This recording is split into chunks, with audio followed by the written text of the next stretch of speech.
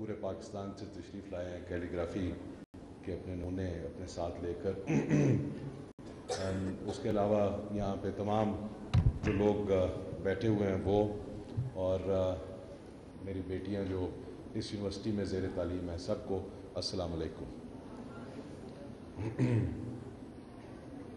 میرے لیے آج حقیقی طور پہ کوئٹہ میں مجھے اب کافی عرصہ یہاں پہ ہو گیا، لیکن آج میرے لیے شاید ایک بہت ہی زیادہ خوشی کا دن ہے کہ میں اس یونیورسٹی میں جو کہ ہماری بلوچستان کی بیٹیوں کے لیے، ہماری بچیوں کے لیے ایک سپیئر ہے، لیڈنگ یونیورسٹی ہے، ایک ہی یونیورسٹی ہے خواتین کی یہاں پہ اس میں آٹھ ہزار بچیاں زیر تعلیم ہیں، ان کے درمیان مجھے موجود ہونا اور ایسی محفل میں آنا جہاں پہ اتنے اتنے بڑے لوگ موجود ہیں۔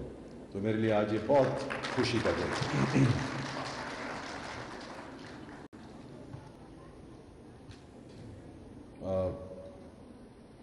میرا علم اتنا تو نہیں ہے جتنا ان بہت اچھے خطاطوں کا اور ان بہت ہی خوبصورت انسانوں کا علم ہے جو میرے سامنے بیٹھے ہیں۔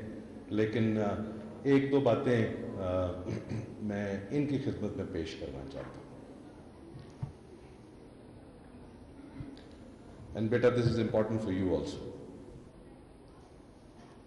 اللہ تعالیٰ نے جب انسان کو بنایا، تو اللہ تعالیٰ نے اس کو اپنے ایک نور کے حصے سے بنایا. اس نور کو کہتے ہیں نور العالمین جس سے رب تعالیٰ نے مجھے بھی تخلیق کیا، آپ کو بھی تخلیق کیا. نور العالمین ہماری روح کے ساتھ، ہمارے ساتھ موجود ہے. نور العالمین رب کے نور کا ایک حصہ ہے۔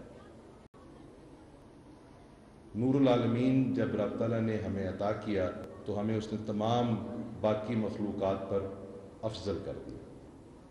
اور اس کی وجہ یہ تھی کہ جب اللہ تعالیٰ یہ نور عطا کیا کرتا ہے تو اس کے ساتھ قوت گویائی عطا کیا کرتا ہے۔ قوت گویائی بولنے کی طاقت کو نہیں کہتے صرف۔ It is a power by which an internal thought can take birth in a human being آپ لوگوں کے اندر ایک سوچ پیدا ہو سکتی ہے۔ وہ سوچ پروان چڑھ کے ایک آئیڈیا بن سکتی ہے۔ وہ آئیڈیا ایک لاجیکل ارینجمنٹ اختیار کر سکتا ہے۔ And then it can get expressed in several ways and each of those expressions has the power کہ وہ دوسرے انسان یا انسانوں کے گروہ کے دل و دماغ پہ اثر کر سکے۔ تو اس ایکسپریشن میں سے ایک بہت خوبصورت ایکسپریشن خطاتی ہے۔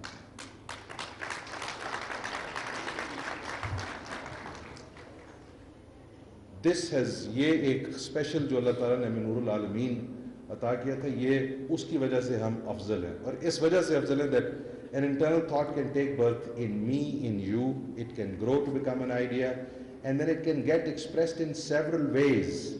And each of those ways has the capacity to affect the human heart and mind. اور uh, چونکہ یہ خطاطی اللہ تعالیٰ کے اس کلام اور uh, جناب رسول اللہ صلی اللہ علیہ وسلم uh, کے اوپر وارد ہوئے ہوئے اس کلام کی خطاطی ہے زیادہ اور یہاں پہ وہ لوگ بیٹھے ہیں جنہوں نے یہ کام کرنے کی جسارت کی ہے یہ کام کرنا کوئی آسان، عام کام نہیں ہے it is not an ordinary thing and you are not ordinary people you are very special people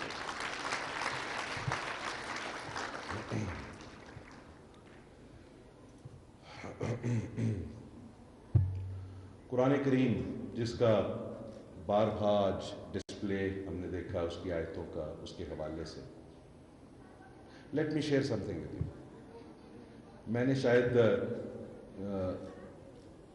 Let me say this: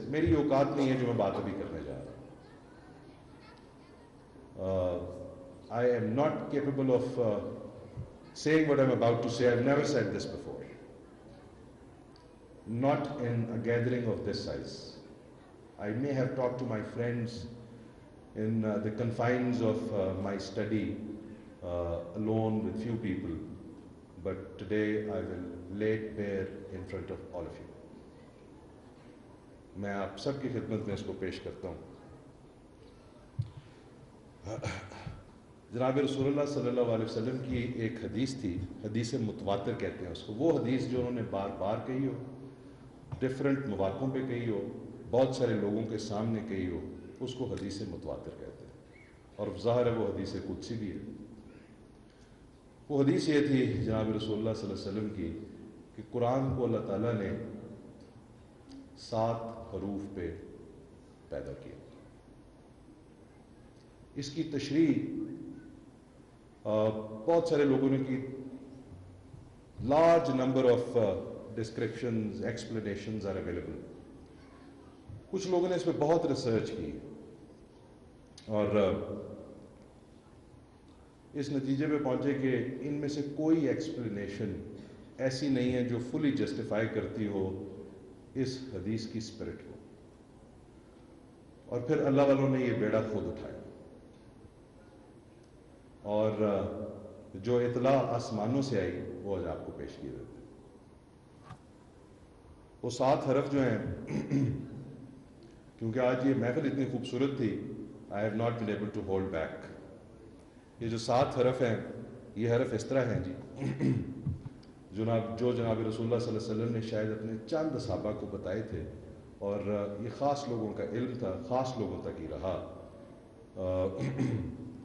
پہلا حرف ہے حرف رسالت، جس پہ قرآن جس سے بنے ہوئے، قرآن کی آیتیں بنی ہوئی دوسرا ہے حرف نبوت، تیسرا ہے حرف آدمیت، چوتھا ہے حرف علم، پانچواں ہے حرف روح، چھٹا ہے حرف قبض، ساتواں ہے حرف بست۔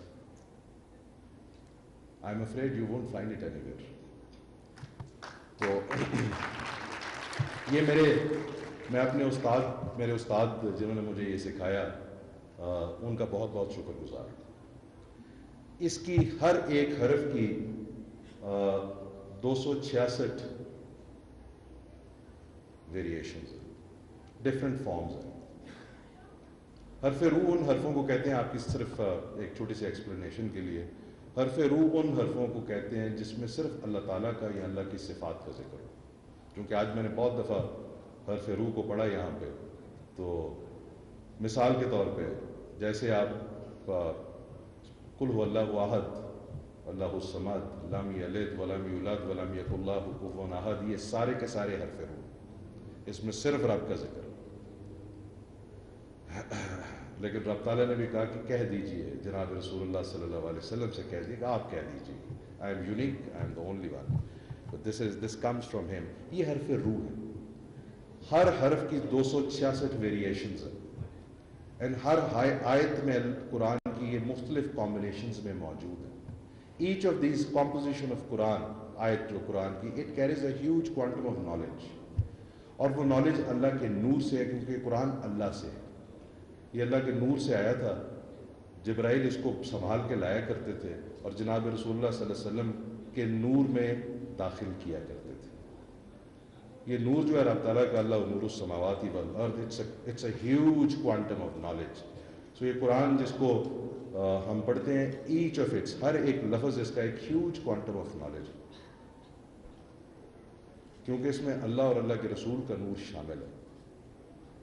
یہ قید لا الہ الا اللہ محمد رسول اللہ کے اندر ساری کائنات اس میں بند ہے۔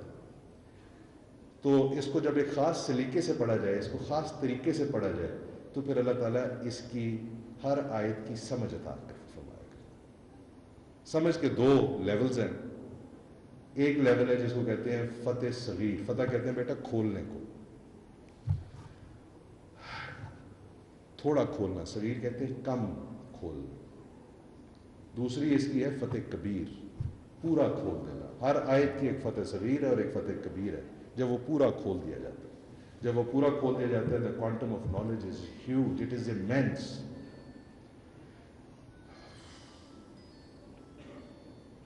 اور اس کام کو کرنے والے ایسے لوگ یہاں پہ بیٹھے ہیں جنہوں نے خطاطی میں قرآن کو ترتیب کیا، لکھا ہے۔